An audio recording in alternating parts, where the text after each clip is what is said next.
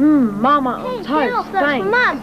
It's Mum's birthday. Are you sure Mum wants all this Marmite? Of course she does. She really likes it. Marmite's a real family favourite. The boys have enjoyed it since they were babies.